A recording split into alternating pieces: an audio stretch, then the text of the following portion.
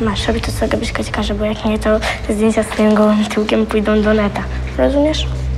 A co tak grubcia chce od ciebie? Nie wiem. Ale wiesz, że będzie trochę siary, jak ona będzie tak za nami łaziła.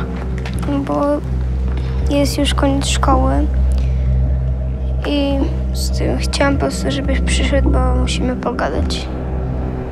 No to mów. Od kilku miesięcy tak jakby zakochałam się w tobie, podobasz mi się.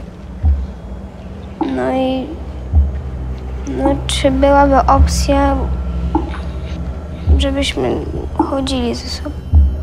Ja nie chcę go w pokoju. A jest tak, jesteś tak samo dzieckiem, ty duży, jak, on, jak i on mały. No i którego mam wygnać do korytarza? A jak myślisz, przypierdolić czy, czy nie?